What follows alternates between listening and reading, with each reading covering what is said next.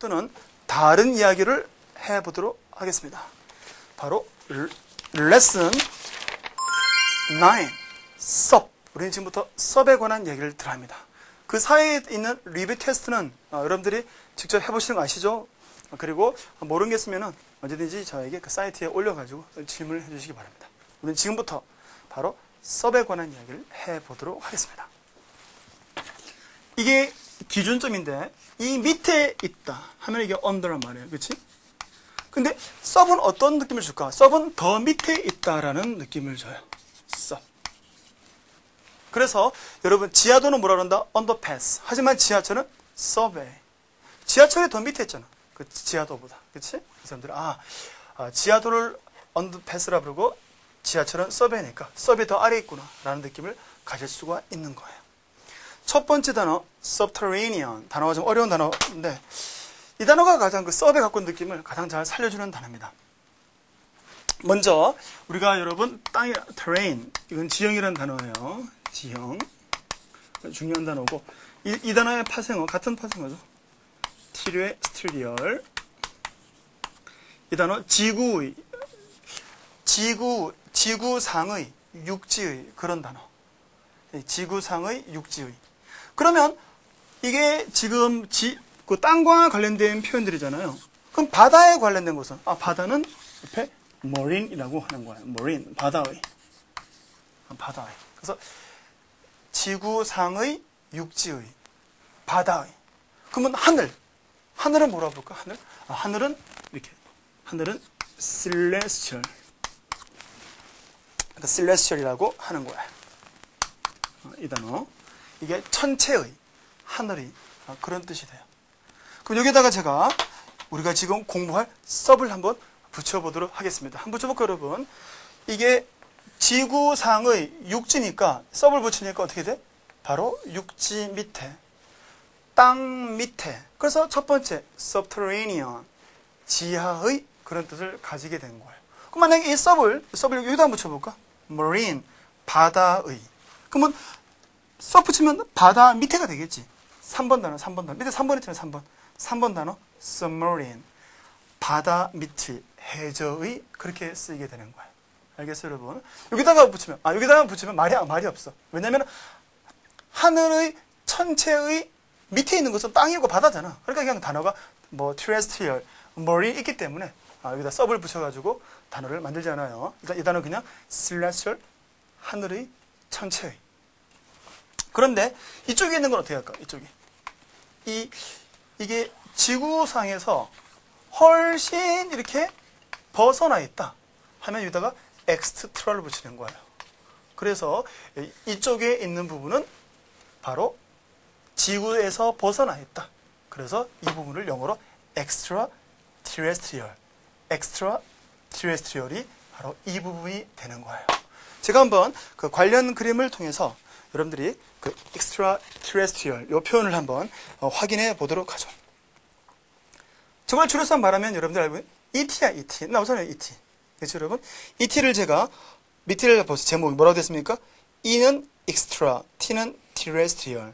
그래서 바로 지구 밖의 외계의 그게 바로 extra terrestrial 알겠어요? 이걸 통해서 여러분들이 terrestrial 지구상이라는 단어도 이해할 수 있지 거기다가 extra 붙이니까 지구 밖의 외계의 뜻을 가져야 된다는 거. 이게 이제 알겠죠, 여러분? 그래서 여기서 가장 중요한 단어는 terrestrial. 상대적인 표현은 천체 celestial. 아, 벗어나 있다. extraterrestrial. 바다는 marine. 바다 밑은 submarine. 알겠어요? 그렇게 정리하면 되는 거예요. 그래서 1번과 3번을 한꺼번에 정리해봤고 2번 submerge라는 단어. 이 단어와도 사실 서로 연관시켜서 설명할 수 있어요. 일단 서브를 한번 붙여볼게요. 이렇게. 지우고 이제 submarine 3번 단어잖아요. 그렇지? 바다 밑에. 근데 submerge라는 단어는 물에 잠기하다. 서로 이제 어원상은 같아요. 이걸 지우고 이 단어를 써보도록 하겠습니다. merge. 여러분 이 merge라는 단어는 합병하다, 합치다라는 단어죠. 그런데 여기다가 섭을 붙이니까 물에 잠기게 하다. 그 왜 그럴까? merge가 합병하다인데 섭을 붙이면은 왜 이게 물에 잠기다가 되느냐? 그것은 이, 이 부분 이게 바로 발음 그대로 어, 물과 어, 관련되어 있기 때문에 그런 거야. 그러니까 합병이라는 것은 액체가 서로 섞이는 거라 생각한 거야. 그러니까 액체는 섞이잖아. 어, 고체는 못, 못 섞이지만, 그러니까 액체가 서로 섞이듯이 물이 섞이듯이 섞인다 그래서 merge가 합병하던데 여기다가 섭을 붙여 보면은 이게 물이 가지고 있던 의미가 그대로 살아나가지고 물에 잠기게 하다가 되는 겁니다. 우리가 여러분 지난 시간에 그 surface라는 단어 반대말이 surface 아니에요, surface. 이번에 반대말이 때 surface. 그때 우리가 그 하마가 물에서 솟아 나오는 거 기억나시죠? 그럼 이번에는 하마가 물에 들어가는 것을 한번 보도록 하죠. 그게 아, 제, 제, 제가 지금 가만히 있다가 그렇지. 이게 바로 submerge란 말이에요. 물에 잠기다 또는 잠기게 하다. 아, 바로 하마가 submerge 한 거예요. 알겠죠, 여러분? 바로 나오는 것은 아까 surface, 잠기는 것은 바로 submerge. 그게 바로 이번에 1번 단어 들어왔어요. 물속에 가라앉히다 또는 가라앉다. 한번 그렇게 이해할 수, 아, 아, 말씀드릴 수 있고. 자, 우리는 이번에 1번 물속에 가라앉히다야 동요한 거고 plunge 풍덩하고 빠뜨리는 거고 sink는 그냥 침몰이고 어, 세 번째 immerse im 동그라미 치고 im 동그라미 쳐보세요. im 동그라미 치면 어때요, 여러분? 동그라미 치니까 어, 이 단어 나오지. 물 나오잖아. 그래서 물에 담그는 거예요. 어, 이건 in이거든. in. in이거든. 그래서 물에 in, 물에 담그다. 그게 바로 2번에 1번의 세 번째 immerse라는 단어죠. 자, 그 다음에 2번에 2번, 물에 잠기게 하다의 동요 가보니까 두 번째 단어, deluge란 첫, 첫 번째 flood고, 자, 2번에 두 번째, deluge D 동그라미 치고, D. 세 번째, inundate, 침수시키다, in 동그라미 치고, in 동그라미 치고, in 동그라미 치고, 그래서 inundate, 침수시키다. 3번, submarine. submarine 제가 아까 바다 밑의, 해저의, 이렇게 공부를 해봤죠. 이 단어가 여러분, 명사로 쓰이면은, 여러분들의 많은 보는 바로 어떤 배의 모습인데 바로 잠수함입니다. 아, 잠수함의 용어로 submarine이라고 하는 거죠. 아, 지금 보고 계신 것은 바로 그 전쟁 기념관에서 볼 수 있는 우리나라의 그 잠수함이에요. 그래서 submarine 명사로 잠수함, 형용사로 바다 및 해저의. 아, 물론 토플에서는 이제 우리가 바로 바다 및 해저라는 그 형용사 뜻으로 더 중요하다는 것.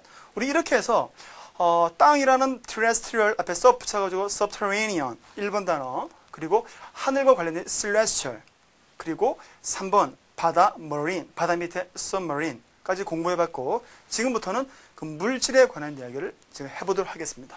서양 사람들은 물질을 어떻게 사귀었냐면은 제가 그림을 그려보면은 어, 이렇게 서 있는데 서 있는 것은 우리가 스탠스라고 하죠. 자세, 입장 여기다가 섭을 붙이는 겁니다. 섭 아래 그러니까 내가 발 딛고 서 있는 거, 그 밑에 깔려있는 세계. 이게 바로 물질의 세계라고 생각하는 거예요. 그러면은 그 위에 있는 건 어떻게? 이 위에 있는 세계는 물질이 아닌 어떤 이상, 초현실, 어떤 그런 세계라고 생각해요. 실제로 그 제가 그리스 그 철학자들이 물, 그 현실과 이상을 어떻게 생각하는지 제가 한번 그림으로 어, 보여드리도록 하겠습니다. 바로 이 중간에 빨간 옷과 그리고 파란 옷이 보이죠? 바로 유명한 철학자 플라톤과 아리스토텔레스예요. 제가 좀 더 크게 한번 우리가 아, 보도록 하겠습니다. 어, 여러분 지금 빨간 옷과 파란 옷 누가 플라톤이고 누가 아리스토텔레스 같아요? 아, 누가 이상주의자고 누가 현실주의자일까요? 바로 아, 여러분 플라톤 이 빨간색이 바로 플라톤인데 손을 하늘로 가리키죠. 이것은 바로 이상주의라는 것을 말하고 있는 것이고 그의 제자 아, 아리스토텔레스는 손바닥을 땅으로 가리키잖아요. 바로 현실주의자. 그러니까 땅바닥 자기가 서 있는 것 바로 밑에는 바로 이게 현실이고 어, 본질이고 실체의 세계라는 것을 말해주는 거예요. 그 위쪽은 바로 이상의 세계고. 알겠어요? 이게 바로 서양 사람들이 갖고 있는 그 물질에 대한 사고방식이에요. 그러니까 그렇다면 다시 계속해서 이게 바로 물질에서 이 단어의 형용사가 바로 그 5번 단어 substantial인데 왜 갑자기 상당한 뜻이 나오느냐? 그거는 밑에서 받쳐주니까 어, 이렇게 써주세요. 이게 원래 튼튼한 아, 튼튼한 그 형용사 아, 그 substantial 형용사는 그 5번이죠. 그 5번에 상당한 외에도 이게 튼튼한 또는 견고한 뜻을 가집니다 그 5번 단어가. 근데 이게 왜 그럴까? 밑- 받쳐주니까. 밑에서 바로 이 사람을 받쳐주고 있으니까 그만큼 견고하겠죠. 그래서 튼튼하겠죠. 근데 튼튼한 견고한을 바로 추상적으로 바꾸게 되는 거야. 그럼 튼튼하다, 견고하다라는 그 느낌 어떨까? 바로 상당하다. 라고 생각하게 된 거죠. 그래서 바로 5번 substantial 원래는 이게 튼튼한 견고한에서 바로 상당한이 라고 쓰게 된 겁니다. 아주 중요한 단어고 사실 그 4번보다는 5번 단어 훨씬 중요한 단어예요. substantial. 그 다음에 significant. 그 다음에 considerable 이런 단어. 음, 6번 동사 substantiate. 입증하다, 실증하다. 왜냐면은 바로 우리가 그 물질, substance니까 물질을 가지고 증명하는 거야. 그러니까 존재하고 있는 것을 가지고 증명하다. 그게 바로 substantiate. 그래서 substance는 물질, 동사가 되어지면서 물증을 가지고 딱 내놓는 거. Substantiate. 물증을 가지고 실증하다라고 하게 된 거죠. 뭐 verify 옆에 동의어 prove 증명하다. 자, 6번의 세 번째 confirm, con 동그라미 치고 네 번째 attest at 동그라미 치고 네 번째 아, 이거 동그라미 치는 얘기예요.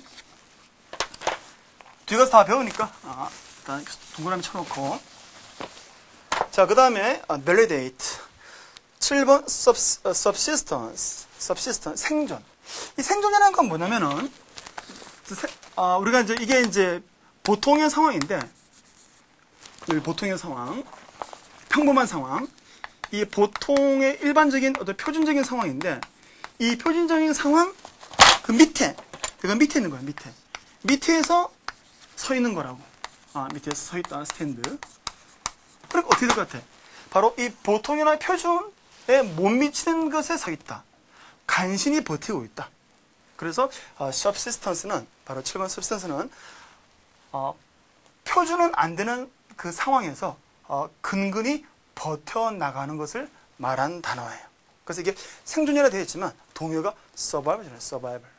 알겠죠? 그러니까 바로 이 표준인 상태의 그 밑에, 밑은 바로 뭔가 못 미친다는 느낌이고 거기에 서 있다. 견디고 있다. 그래서 바로 간신히 버텨나간다. 최소한의 수단으로 살아가고 있다. 예? subsistence. 단어 어렵죠? 8번 substitute. 대신하다. 원래 이 단어는 근데 대리인, 축구에서는 이게 바로 교체 멤버가 되는 거예요.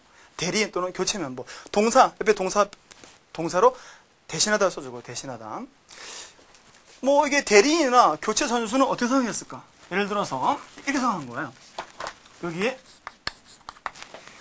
만약에 여기에 지금 이제, 아, 박지성 선수가 뛰고 있다고. 아, 박지성 선수가 뛰고 있는데, 지금 부상을 당했어요. 그럼 바로, 박지성 선수 그 밑에서 대기하고 있던 사람, 이 사람이 바로 박지성을 대신하게 되겠죠. 어, 그래서 바로 원래의 것 밑에 서 있는 사람, 바로 이 사람이 바로 substitute이야, substitute. 8번 대리인.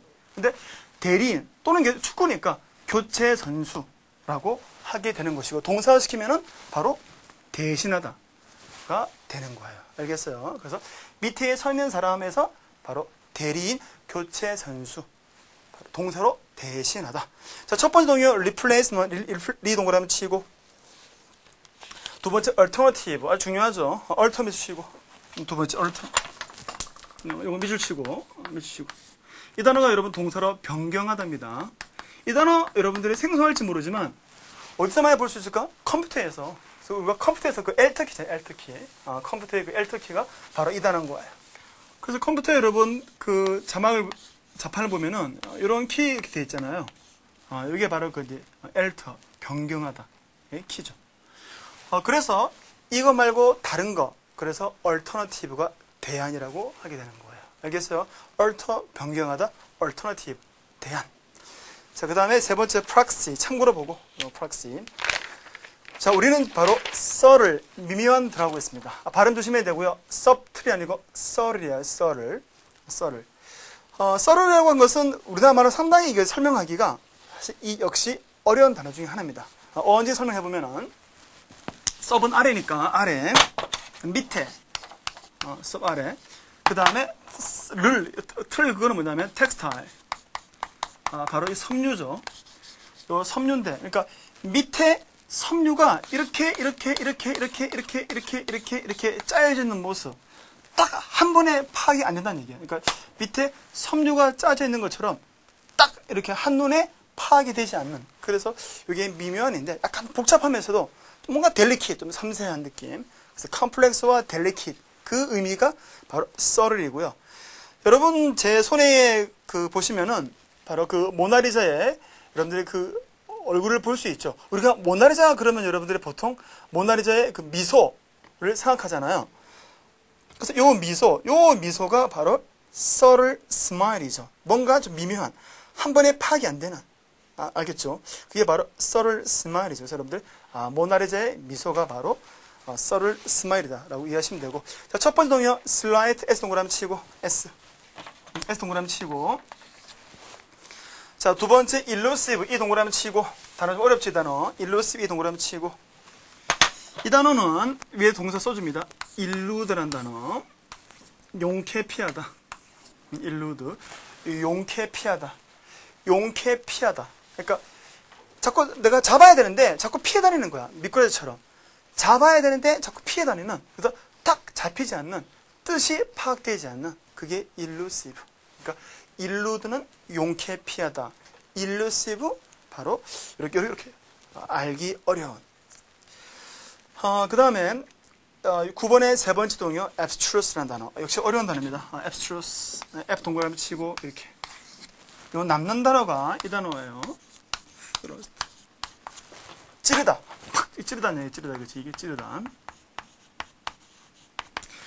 찔러야 되는데 얘는 이제 나중에 여러분들 배우지만 떨어져 나가는 거라고. 아, 탈락. 찔렀는데 이게 찔러지지 않는 상태. 아, 그래서 뭔가 좀 잘 모르겠다 되는 거. 어렵다 이게. 그러니까 팍 찔러야 뭔가를 딱 우리가 잡을 내릴 수 있는데 찔렀는데 찔러지지 않는 상태. 그래서 이게 abstruse는 아, 파악하기 힘든 난해하다라고 하게 된 거죠. 단어 어렵죠 동의어들. 그래서 썰을도 어려운 단어고 썰을 아, 일루드 용케 피하다 해서 자꾸 피해 다녀서 잡히지 않는 일루시브 찔러지지 않는 abstruse 이렇게 그리고 어, 썰을 스마일이 바로 모나리자의 미소를 생각하면 되는 거예요. 그 다음에 subside 아, 아, subsidy 보조금 어, 보조금은 이제 밑으로 주는 것 말 그대로 이렇게 밑으로 주는 것 시트가 안, 안 치는 거니까 그래서 밑으로 주는 것 해서 그냥 보조금이라고 이해하시면 되고 음, 서비스 온 거는 밑으로 그냥 내가 시트 네. 밑으로 내, 어, 밑으로 주는 거 밑에 내려놓은 거 이게 바로 보조금이에요. 동사가 subsidize 보조금을 지급하다. 이 단어가 토플에서 후원하다라는 뜻으로도 출제됐는데 assist. 그래서 subsidy는 보조금 그 밑에 파생어 subsidize 보조금을 지급하다 후원하다. 아, 11번 subside 가라앉다. 아주 중요한 단어 중에 하나입니다. 음, sit와 같은 어원이죠 이렇게. 아, 그래서 밑으로 밑으로 밑으로 밑으로 밑으로 밑으로 밑으로 이렇게 가라앉는 것은 점차 점차 약해지거나 점차 점차 진정되거나 의 뜻을 가지게 되는 거예요. 그래서 예를 들어서 우리가 뭐 홍수 플로드잖아요.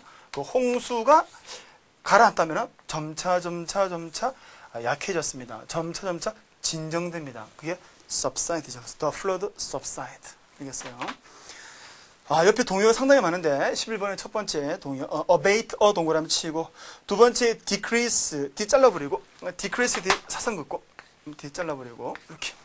세 번째 sink 네 번째 settle down. 다섯 번째 collapse 붕괴되다 collapse. 아, 크로 동그라미 치고. 여섯 번째 decline D 사선 긋고 이렇게 사선 그어버리고. 사선을 긋는 것은 부정 동그라미 치는 것은 부정이 아님 그런 접두사예요.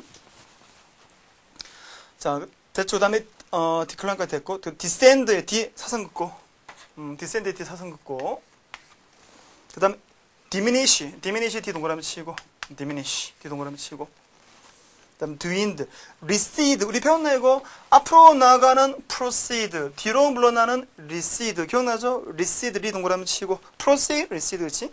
그 다음에 taper, taper도 중요한 단어예요. taper는 뭐냐면은, 이게 이제, 이런 모습인데, 그러니까 이게 끝이에요, 끝. 이게 테이프예요, 테이프. 아, 테이프라고 하는 것은 바로 이렇게 끝으로 갈수록 좁아지는 걸 말하겠지. 끝으로 갈수록.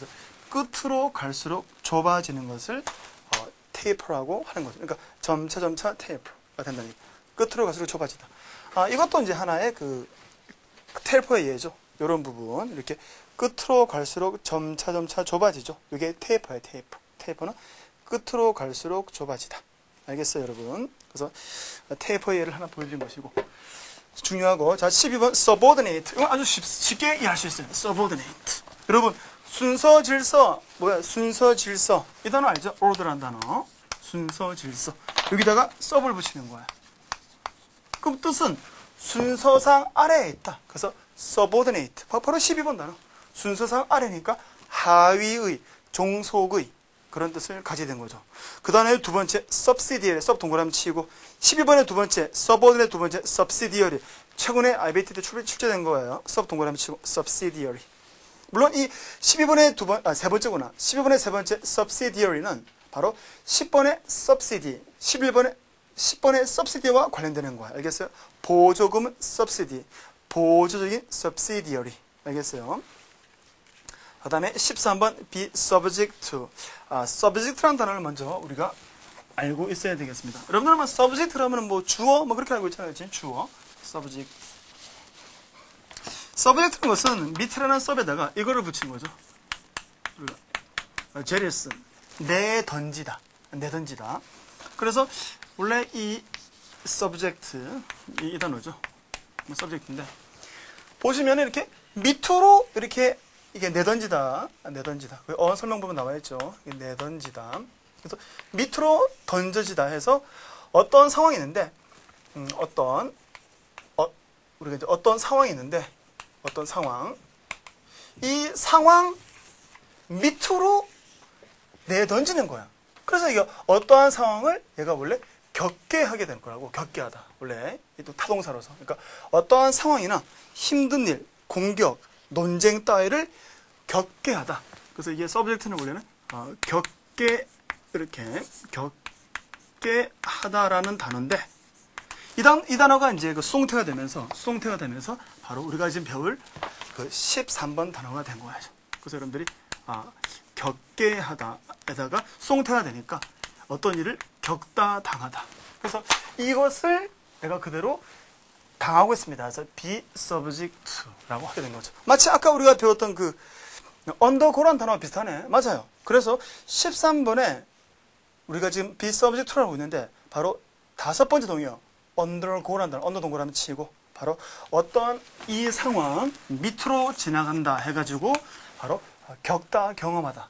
그것을 다른 말로 be subject to, 어, to 이하의 영, 그 밑에 놓여졌으니까 바로 그것을 겪다, 경험하다가 되는 거예요. 알겠어요? 그 사람들은 원래 이제 subject 우리가 명사로 이게 뭐 주어, 뭐 주제 그렇게 알고 있지만 동사를 쓰게 되면은 어떤 상황 밑으로 던지는 것이기 때문에 겪게 하다고 수동태가 되니까 be subject to 해가지고 겪다가 되는 거예요. 그래서 여러분들 예문 잘 보시면은 아, 쉽게 이해되죠. be subject, ridicule, attacks, 뭐 pressure 뭐 이런 식으로.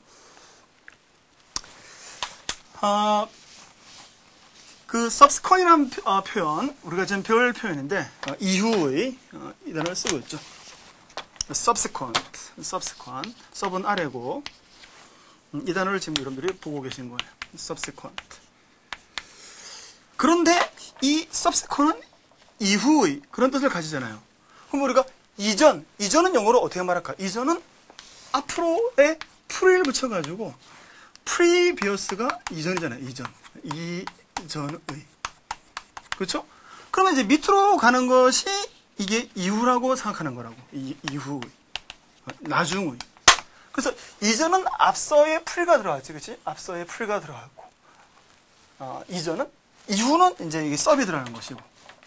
그러니까 이게 아마 그 사고 방식이 앞서 간다는 것은 앞선 이전의 뜻을 갖게 되는 것이고 밑으로 간다는 것은 시간상 나중에 이후다라고 생각하는 것 같아요. 그래서 previous와 subsequent 서로 대조관계. 어, 그 다음에 여러분 첫 번째 동요 successive라는 동그라미 치고 어. 곧 배울 거니까 동그라미 쳐놓고. 두 번째 succeeding 역시 썩 동그라미 치고 이렇게. 14번에 두 번째. 14번 다섯 번째 ensuing 아 바로 최근에 IBT에 출제된 거죠. in 동그라미 치고 이렇게 in 동그라미 치고. 이 단어 ensuing 지금 우리는 이전이라는 단어는 previous를 공부했었고 어, 이후라는 단어를 우리가 지금 subsequent이라는 단어를 어, 공부하고 있습니다. 그 단어의 아, 다섯 번째 동의어 인수, ensuing 이것이 최근에 출제된 것이고 그 사고 방식은 어, 이렇다, 어, 이렇다, 이전, 이후라고 생각한 거예요. 음, 그 다음에 뭐 subsequently, 그 다음에 뭐 subsequence. 어, 이렇게 해서 우리가 지금 그 sub, sub에 관한 이야기를 지금 공부하고 있는 것이고, 우리가 다음 시간에는, 다음 시간에는 이 sub이 여러분, 이런 식으로, C, 모양이 바뀌었잖아. 이런 식으로 모양을 바꾼다고. 그래서 모양을 바꿔가지고 아, 만들어지는 단어들을 공부할 텐데, 모양이 바뀌어도 아, R이라는 의미는 전혀 변화가 없어요.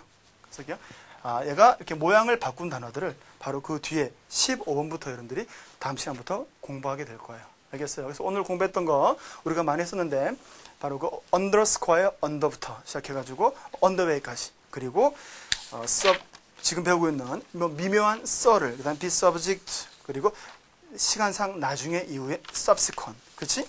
그리고 아까 지하가 뭐였지? 지하 지하는 그렇지 땅 밑에니까 subterranean 그렇지? 그리고 물 밑에는 submarine 아, 물에 잠기게 하는 뭐였지? submerge 그렇죠.